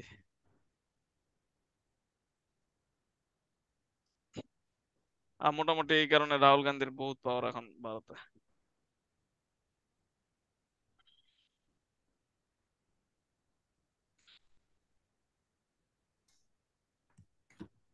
তো এগুলো আর জানি জেনে শুধু শুধু টাইমটা ওয়েস্ট কেন করবা? কত কিছু আমারও মুছে ফেলতে হচ্ছে হ্যাঁ? আগে শেখ মুজিবের মানে কিছু করাই যেত না আর কি আর এখন তো দেড় হাজার মূর্তি ভাঙছে, দেড় হাজার। একজ্যাক্ট নাম্বার বললে চোদ্দশো ছিয়ানব্বইটা মূর্তি ছিল তার। সেটা ভাঙছে। বছরে চারশো কোটি টাকা করে খরচ হইতো তার মূর্তি বানাইতে। তাহলে বছর ক্ষমতায় তো ভেঙে ফেলছে। ওটাকে সবার আগে ভাঙছে। হ্যাঁ বাসার সামনে ও হ্যাঁ হ্যাঁ। হ্যাঁ ওইটা তো আমি ভাঙা দেখছি। আমিও ছিলাম ওইখানে।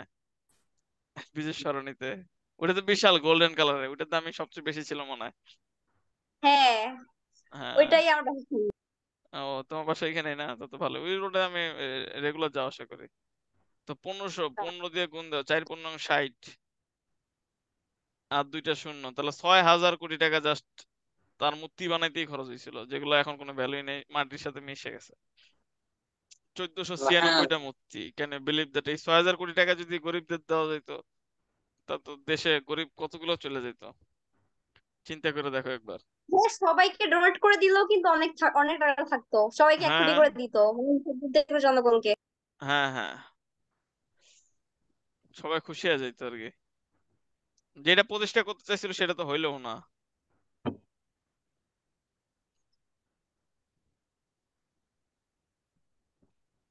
স্বাধীন বাংলাদেশের স্থপতি। ওকে তাজউদ্দিন আহমেদ, খুব গুরুত্বপূর্ণ তার থেকে কোশ্চেনে আসবে এবার।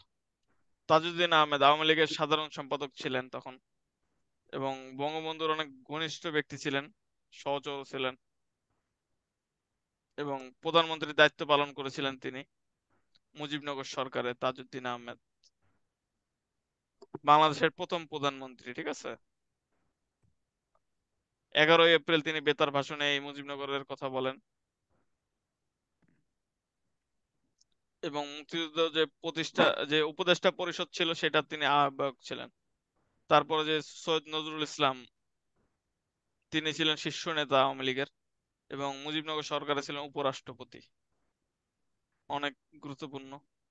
তারপরে যে ক্যাপ্টেন মনসুর আলী, মুজিবনগর সরকারের অর্থমন্ত্রী ইম্পর্টেন্ট তারপরে যে এনার থেকে অনেক বেশি ইম্পর্টেন্ট যারা রাজশাহীতে পরীক্ষা দিবা, যাদের ইচ্ছা আছে এনার থেকে আসবে আর কি। না আসলে আমার নামই চেঞ্জ করে ফেলল তোমরা। কিং অফ জিকে আর থাকবে না তো এনার থেকে আসবেই। সেটা স্বরাষ্ট্র হইতে পারে ত্রাণ ও পুনর্বাসন হইতে পারে। এই দুইটার একটা আসবে যে স্বরাষ্ট্রমন্ত্রী কে ছিলেন মুজিবনগর সরকারের? বা ত্রাণ ও পুনর্বাসন কে ছিলেন? মুজিবনগর সরকার এখন এই ওয়ার্ডটা এখন আবার মানুষের কাছে মানে কোশ্চেনে খারাপ হইতে পারে। যে মুজিবনগর ওয়ার্ডটা ইউজ করবে কিনা জানি না। অন্য অস্থায়ী সরকার বা কিছু একটা বলতে পারে। যে মুক্তিযুদ্ধের সময় অস্থায়ী সরকারের। তখন আর, এখন আর মুজিবনগর সরকার এইভাবে বলবে না কোশ্চেনে বুঝতে পারছ? এখন কি আসবে বলো তো? অস্থায়ী সরকার, মুক্তিযুদ্ধের সময় অস্থায়ী সরকারের উপরাষ্ট্রপতি কে ছিলেন, অস্থায়ী সরকারের অর্থমন্ত্রী কে ছিলেন, অস্থায়ী সরকারের স্বরাষ্ট্র ত্রাণ পুনর্বাসন মন্ত্রী কে ছিলেন, বুঝতে পারছ? তো ওয়ার্ডও চেঞ্জ হয়ে যাবে। মানে তোমাদের নিজের চোখে এগুলো দেখতে পাচ্ছ আর কি ইতিহাসের সাক্ষী যদি এই টাইমে না হইতে তাহলে বুঝতাম আর কি যে ইতিহাস আসলে কীভাবে লেখা হয়। তখন আমি যে বলতেছি এত করে, তখন আমার কথা বিশ্বাস হতো না। এখন তোমরা নিজেরাই দেখতে পাচ্ছ ইতিহাস কীভাবে চেঞ্জ হয়। মানে চোখের সামনে, এইভাবেই তোমার যত ইতিহাস আছে না সবই এইভাবেই চেঞ্জ হয়েছে যত ছোটবেলা থেকে পড়তেছো, যত তোমার এখন যেমন বীরত্ব দেখো যে রোমান সাম্রাজ্য তো এখন সবই আর কি এই একই একই এখন ওরা বিজয়ী তো তো এই কারণে ওদের ইতিহাস এখন এইভাবে চেঞ্জ করা হয়েছে। পরবর্তীতে আবার চেঞ্জ হবে, এই শিফট হবে আর কি সবকিছু চলবে এইভাবেই, পৃথিবী চলে এইভাবেই। তারপর হচ্ছে মাওলানা হামিদ খান ভাসানী তো এনার উপরে তো আর কিছুই নেই মানে দেশের রিয়েল নেতা যদি একজন দেশপ্রেমিক বলতে পারো, তাহলে তিনি ছিলেন মাওলানা আব্দুল হামিদ খান ভাসানী আর তার ইচ্ছে ছিল বাংলাদেশ মানে পাকিস্তানকে ইসলামী প্রজাতন্ত্র না প্রজাতন্ত্র না ইসলামিক ইসলামিক প্রজাতন্ত্র ইংলিশ কি? ইসলাম ইসলামিক রিপাবলিক অফ পাকিস্তান। এনার ইচ্ছে ছিল ইসলামিক সোশ্যালিস্ট অফ পাকিস্তান ঠিক আছে? দুজনের ইচ্ছা চেঞ্জ কিন্তু এনার ইচ্ছে ইনি পূরণ করতে পারেন নাই তার আগেই আল্লাহর ডাকে উপরে চলে গেছেন। নাইলে আরও অনেক কিছু হইতে পারতো। আর তার সাথে আবার শেখ মুজিবেরও বনে নাই। কারণ শেখ মুজিব তো ড্রাগ এডিক্ট ছিলেন তো তোমরা জানো অল টাইম সিগারেট ওপেনলি খাইতো। সিগারেট যেগুলোকে বলে। এছাড়া আরও বিভিন্ন কারণ ছিল। আর এনার একটা বিখ্যাত একটা ইয়া ছিল প্রোগ্রাম সেটা হচ্ছে টাঙ্গাইলের প্রোগ্রাম যেটা হচ্ছে উনিশশো সাতান্ন সালে করছিলেন তিনি, যেটা কাকমারি সম্মেলন। কি সম্মেলন? কাকমারি, কি সম্মেলন? নামটা কি বলতো তো? উনিশশো সাতান্ন সালে? এনার জীবনী যখন পড়াবো তখন আরও ডিটেইলে এটা পড়াবো। বইও লেখা নাই দেখছ? লেখা আছে। নাই জাস্ট একটা ছবি দিয়ে কিছুই নেই। যে কত বড় নেতা ছিল হিসাবই আলাদা। আওয়ামী লীগেরও প্রতিষ্ঠাতা তাহলে বুঝো। তার কোনো হিসাবই নেই। মানে এক ব্যক্তি কেন্দ্রিক সভায় গেছিল সেটা হচ্ছে শেখ মুজিব। শেখ মুজিব নিজেও বোধহয় জানতো না যে তারা নিয়ে সে এত কিছু করবে। মানে তার নামে তার নামে বিজনেস চলতো আর কি।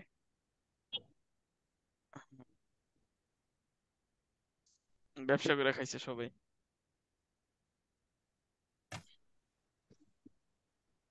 এই যে বাংলাদেশকে তোমার প্রথম স্বীকৃতি স্বাধীনতা স্বীকৃতি দেয় কে?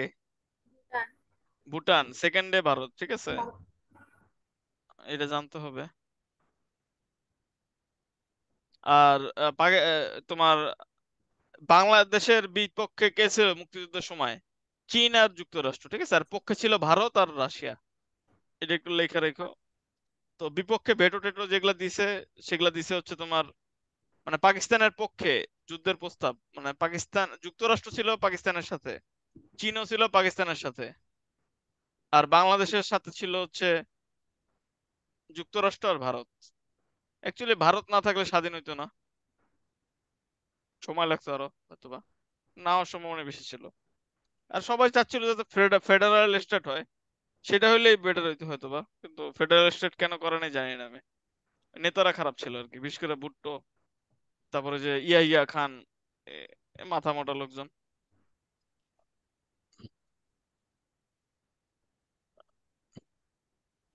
আর তখন তৎকালীন লিগালি ক্ষমতার হকদার ছিলেন শেখ মুজিব। তাকে ক্ষমতা দিয়ে দিলে বেটার হইতো। তাহলে এত গ্যাঞ্জাম আরও কম হইতো আর কি।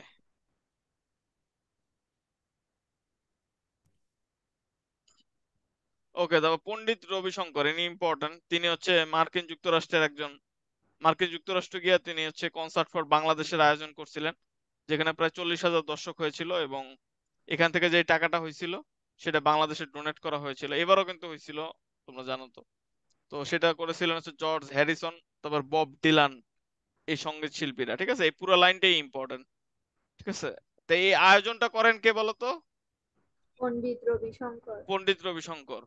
নামটা কি ছিল? Concert for? বাংলাদেশ। বাংলাদেশ। কোথায় অনুষ্ঠিত হয়েছিল মার্কিন যুক্তরাষ্ট্রের? নিউ ইয়র্কে। নিউ ইয়র্ক শহরে। ঠিক আছে? আর এটা তোমার আহ অনুষ্ঠানে প্রোগ্রামে পারফর্ম করছিলেন কে কে?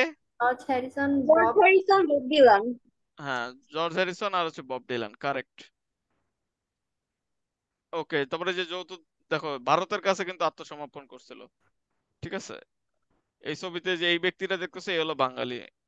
তার মানে বুঝো যে ভারত ভারত আর পাকিস্তানে মানে যুদ্ধ হয়েছে কিন্তু ইন্ডিয়ার হিসাবে হচ্ছে ভারত আর পাকিস্তানে পাকিস্তানের হিসাবেও তোমার ভারত আর পাকিস্তান আর, শুধুমাত্র বাংলাদেশের হিসাব বাংলাদেশ মনে হয় এখানে কিছু করছে। আসলে তেমন কিছু অবদান মানে অবদান বলতে মানে যুদ্ধ জেতাটার কঠিন ছিল। ইন্ডিয়াই আর কি মেনলি জিতেছে বলতে গেলে। না হলে ওই দিক দিয়ে আমেরিকা হামলা করতো বাংলাদেশে। আবার রাশিয়া, রাশিয়ার কাছে ইন্দিরা গান্ধী নিজে গেছিল। রাশিয়ার প্রধানমন্ত্রী তৎকালীন যে ছিল প্রেসিডেন্ট তার কাছে ইন্দিরা গান্ধী নিজে গিয়ে বলছে যে হচ্ছে হেল্প বাংলাদেশ। কারণ ভারতের অনেক বড় স্বার্থ ছিল। যে দিক থেকে পেটের মধ্যে হচ্ছে বাংলাদেশ। এটা মনে করো ইন্ডিয়া পেটের মধ্যে হচ্ছে বাংলাদেশ। তাহলে পুরা একটা নিয়ে লাভ কি? মানে পূর্ব পাকিস্তান আর কি। এত বড় দেশের মাঝে ওদের জন্য প্যারা। এই জন্য চাচ্ছিল যাতে ওরা আলাদা করে ফেলতে পারে এবং পররাষ্ট্র বানাইতে পারে। এই কারণে এই কাজটা করছে। আর এই দিক থেকে বাংলাদেশেরও আর কোনো উপায় ছিল না। কারণ পাকিস্তানিরা সেই উপায়টা রাখে নাই, কিছু করার নেই। কারণ পাকিস্তানিরা তো মুসলিম হিসাবে বা দেশ হিসাবে, মানুষ হিসাবেই গণ্য করে নাই। ভাবছে যে গরিব মানুষ, বাঙালি, এগুলো আবার কি? মানে বাঙালিরা অনেক বছর থেকেই আর কি অনেক নিগ্রহের শিকার। এক সময় ইনশাল্লাহ ভালো কিছু হবে আশা করি, জানি না কবে। এখন তোমরাই পারো আর কি নিউ জেনারেশনস তোমরা আমরাই পারি, এটাকে চেঞ্জ করতে, তার আগে সম্ভব না।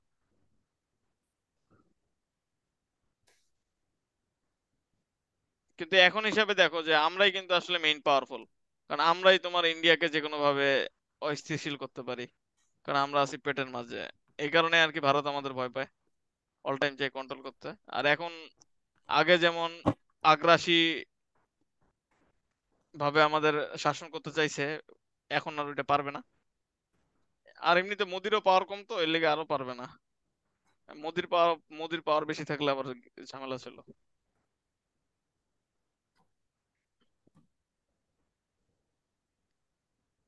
ওকে, তারপর হচ্ছে জেনারেল নিয়াজি সব প্রায় তিরানব্বই হাজার সৈন্য আত্মসমর্পণ করেন জগত সিং আরোরার কাছে, ঠিক আছে? কোনো মুসলিম মুসলিম না, কোনো বাঙালির কাছে কিন্তু না ইন্ডিয়ার কাছে আত্মসমর্পণ করছে। তো এনে বোঝাই যাচ্ছে তাহলে কে জিতলো আর কি। এনে বাংলাদেশে হিসাব নেই আসলে। সবাই মনে করে যে বাংলাদেশ জিতছে হয়তো বা আসলে হিসাব ভিন্ন।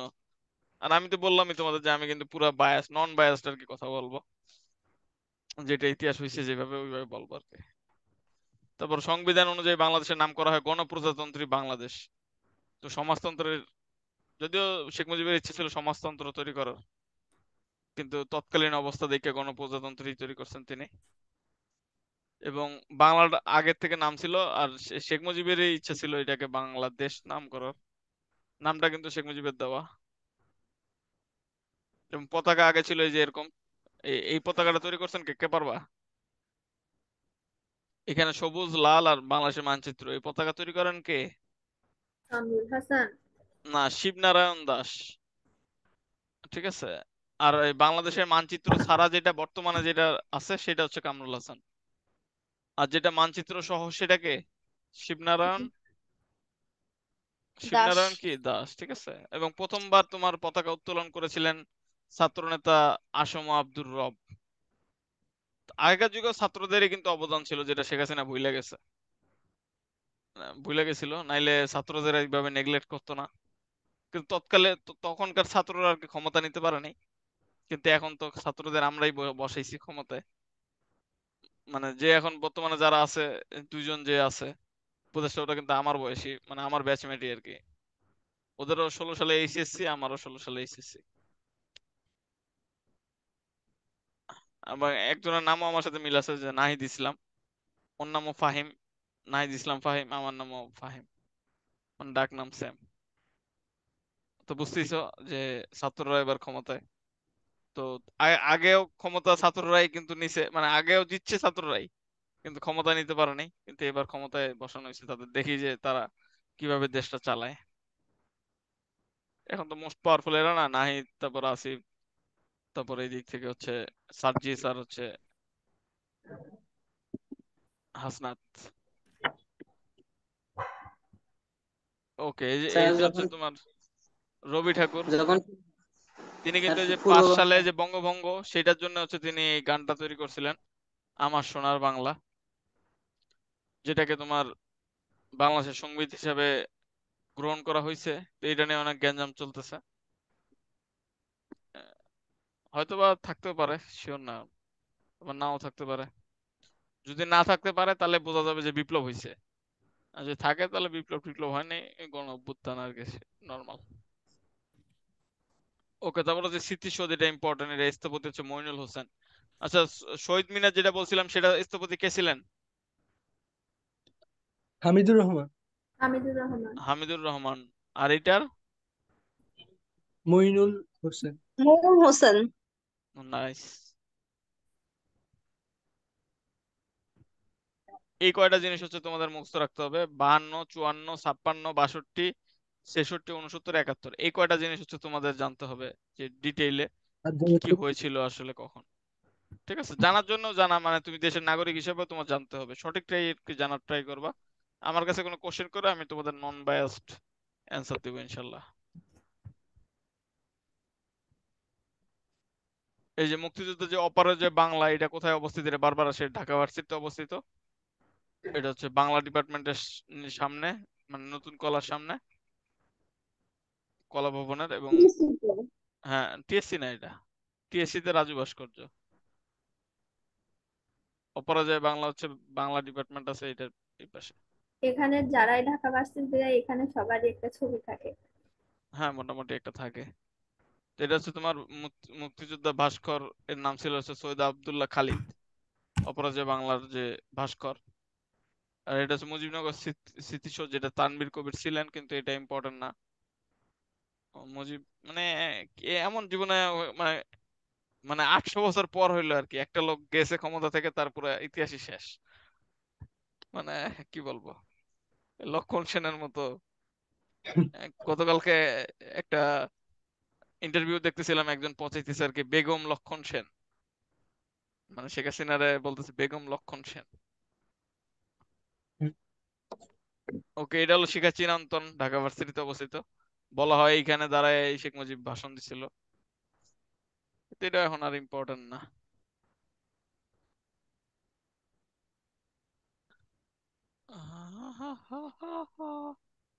ওকে বুদ্ধিজীবী স্মৃতিসৌধ এটা হচ্ছে তোমার আব্দুল কুদ্দুস। মোস্তফা আব্দুল কুদ্দুস এটার সরি মোস্তফা আলী কুদ্দুস এই বুদ্ধিজীবী স্মৃতিসৌধের স্থপতি ছিলেন। এখানে গেছো কেউ? না ভাই। এই মিরপুরে অবস্থিত এক নম্বরে। সবাই এখন টিকটক করতে যায়। তারপর রায়ের বাজার বধ্যভূমি এখানে হচ্ছে তোমার গণহত্যা আর কি গণলাশ ফালায় রাখছিল মুক্তিযুদ্ধের সময়। ওকে শেখ মুজিবুর রহমান নামে একটা অধ্যায় দেওয়া যাইছিল বাইরে ভাই। শাসনকাল বাহাত্তর থেকে পঁচাত্তর লেখা কিন্তু বাহাত্তর থেকে পঁচাত্তরের রিয়েল কাহিনী কিন্তু তোমার উধাও ছিল। আন্দাজি কাহিনীগুলো লিখে রাখছিল। এটা স্কিপ করে দিছি হ্যাঁ এটা দরকারই নেই। সব কাইটা দিয়ে আর কি করব।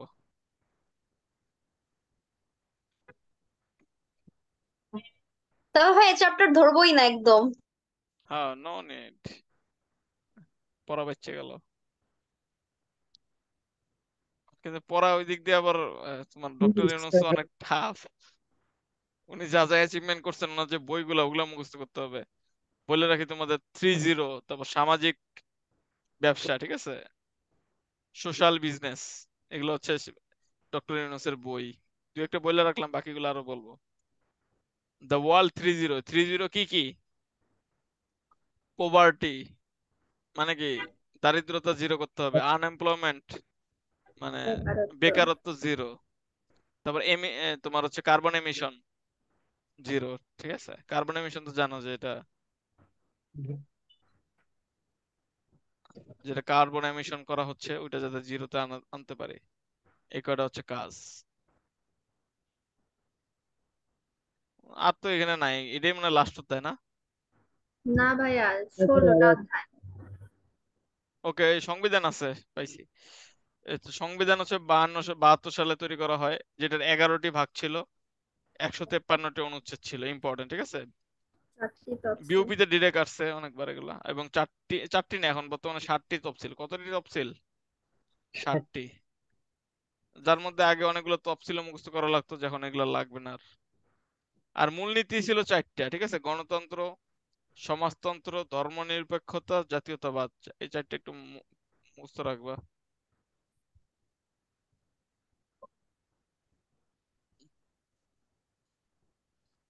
ভাষণ টাষণ এগুলো অনেক ইম্পর্টেন্ট ছিল আগে।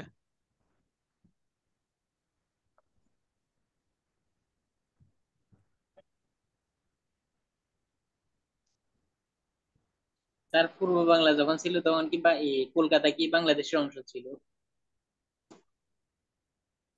এই যে তিয়াত্তর সালে যে নির্বাচনটা হয়েছিল শেখ মুজিব এটা হচ্ছে তিনি হেলিকপ্টার ব্যবহার করে ব্যালট বাক্স চুরি করছিল। আর তার মেয়ে তো তোমার রাত্রে ভোট করছে অনেকবার।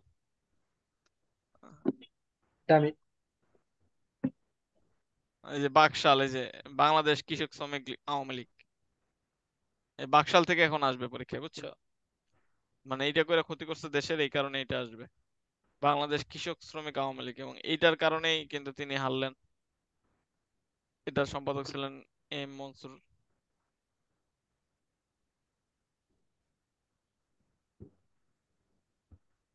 উনি বলতেন যে, আমাকে কোনো বাঙালি মারবে না। লাস্টে গিয়ে ওনারা বাঙালি মেরে দিছে। কে কে মারছিল যে সব দেখতে পারবা? বজলুল হুদা, মুক্তমুখ। টোটাল আঠারোটা গুলি করছে এবং তার লাশটা পড়েই ছিল, কেউ যায়ও নাই। ঠিক আছে?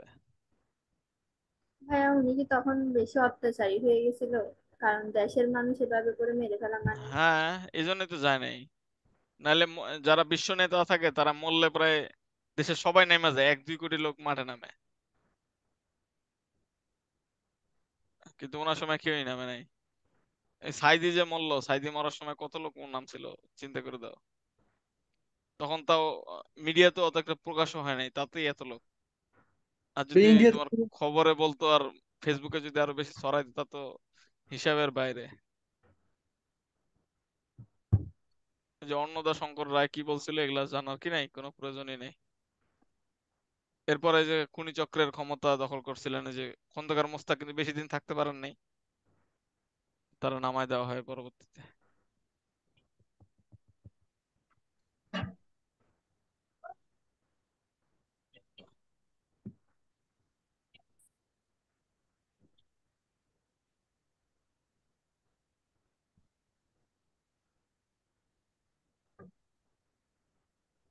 এই যে এটা ইম্পর্টেন্ট এটা পড়ো। জনসমর্থনহীন পতন হয় তোমার এই তেসরা নভেম্বর এবং তেসরা নভেম্বরেই তোমার জেল হত্যা দিবস হয়। পাল্টা অভ্যুত্থান এটারই কথা একটু কিছুদিন আগে তোমরা অনেকবার শুনছো যে পাল্টা অভ্যুত্থান করতে পারে আওয়ামী লীগ, কিন্তু সেটা কিন্তু করতে পারে নাই, আর পারবেও না। কিন্তু আগে একবার পাল্টা অভ্যুত্থান হয়েছিল, এই যে তেসরা নভেম্বরের হত্যাকাণ্ডে। জেলের মধ্যে জেল হত্যা যেটা আছে এখানে কিন্তু করা হয়।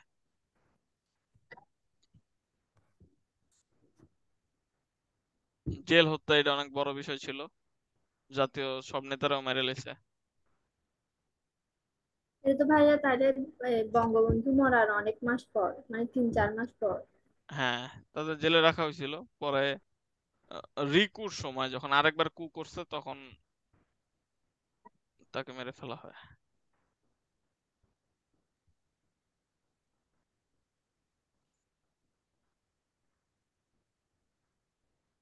ভাইয়া বঙ্গবন্ধুকে তো মেরেই ফেলছিল। তো উনাকে মেরে ফেলার পর উনাকে আবার উপাধি কেন দিল? কারণ দেশের মানুষই তো উনাকে মারছে। কিসের উপাধি? তো বীরুত্তম উপাধি দিল না উনাকে। এটা তো আগে দিছে। বাহাত্তর সালে দিছে। এটা তো যুদ্ধের জন্য দিছে বীরোত্তম শে- শে- জিয়াউর রহমানকে। আর তিনি তো অনেক ভালো কাজ করছেন না দেশের যেই ফ্রিডম ওটা তো উনি বলছেন। মানে রেডিওতে প্রকাশ করা অনেক কঠিন ব্যাপার না? চিন্তা করে দেখো, সরকারের বিরুদ্ধে গিয়া, পাকিস্তান সরকারের। অনেক বড় একটা কাজ করছেন আর কি। এই জন্য তো হিরো হয়ে গেছেন। এখন পর্যন্ত মানুষ মানে তারা। বিএনপি পন্থীরা।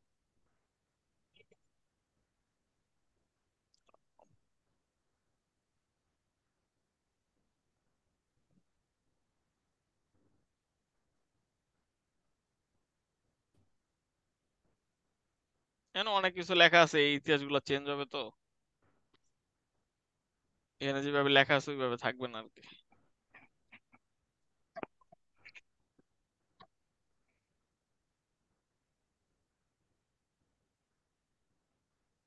এই হানা ভোট এগুলো একটা ফানি ভোট ছিল আর কি। আমার আম্মু নাকি ওই টাইমে ছোট ছিল। ব্যালট বক্সের এখানে আম্মুর নিয়ে বলে, হা হা দিতেই থাকো। পরে আম্মু অনেকগুলো সিল দিছিল আর কি। আম্মু আমাকে বলছে তো এগুলো সব ফাও ভোট আর কি। কিন্তু ম্যান্ডেট ছিল আর কি, আর ওই টাইমে জিও রহমান ছাড়া অপশনও ছিল না।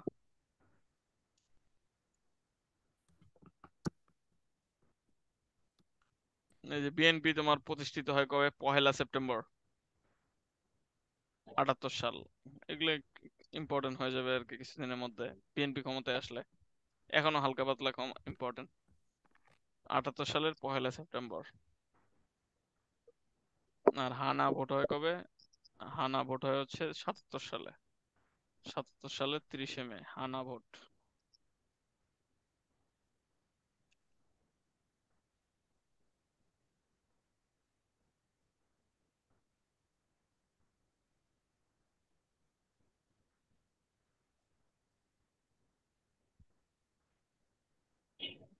ওকে, আর তেমন কিছু ইম্পর্টেন্ট নাই আর কি। তো এই আর কি। মোটামুটি যে পড়ো কমপ্লিট হয়ে যাবে। তো এখানে তোমাদের দেখলা যে ভাষা আন্দোলনটা ইম্পর্টেন্ট যেখানে ধীরেন্দ্রনাথ দত্ত, তারপর তমুদ্দন মজলিস, তারপর সর্বদলীয় রাষ্ট্রভাষা পরিষদ, এই কয়টা ইম্পর্টেন্ট বাহান্ন তারপর হচ্ছে একুশে ফেব্রুয়ারি, প্রথম শহীদ হচ্ছে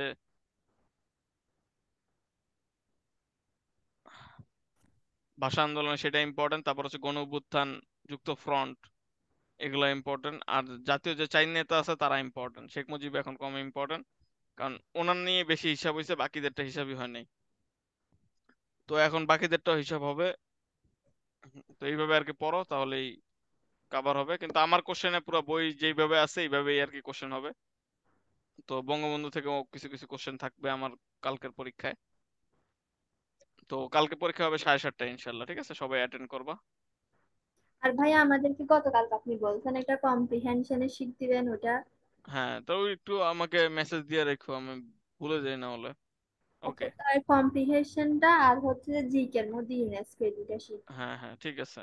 আমি একটু গ্রুপে মেসেজ দিয়ে দিব। ওকে আল্লাহ হাফেজ।